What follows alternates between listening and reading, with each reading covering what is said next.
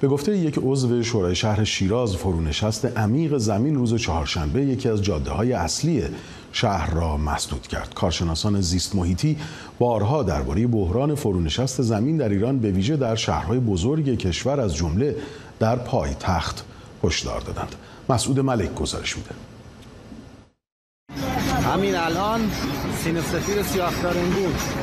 خبرگزاری ایرنا به نقل از حسن آبدی عضو شورای شهر شیراز گزارش داد روز چهارشنبه ایجاد یک شکاف ناشی از فرونشست عمیق زمین به بزرگی 100 متر مربع در جاده اصلی سیاخ دارنگون شیراز در محدوده گردنه سینه سفید سبب مسدود شدن این محور و ایجاد مسیر موقت برای تردد خودروها و شهروندان شد.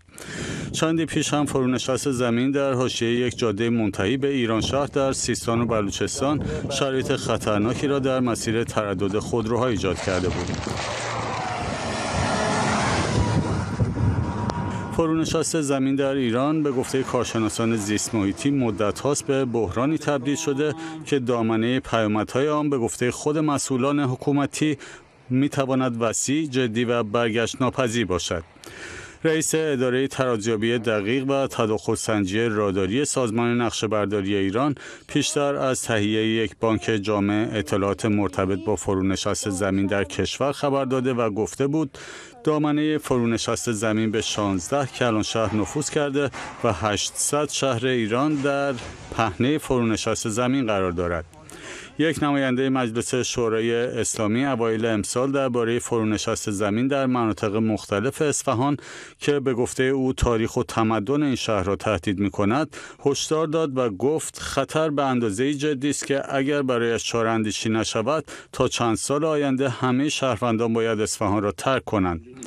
این همچنین دیدگاه ناصر کرمی اقلیم شناس مقیم نروژ است که پیشتر در گفتگو با بخش فارسی صدای آمریکا یکی از جدیترین پیامدهای فرونشست زمین در اصفهان را از بین رفتن شرایط زندگی برای شهروندان عنوان کرد و گفت همه روش های حل بحران تا کنون ناکارآمد بوده و باید در آن تجدید نظر شود. راهش خیلی مشخصه همه اون کاری که تا شده باید برعکسش انجام بشه.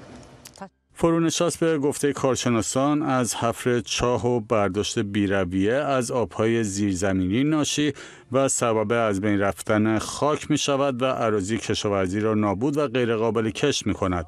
نظیر دشت ورامین و شماری از دشتهای اصفهان و دیگر نقاط کشور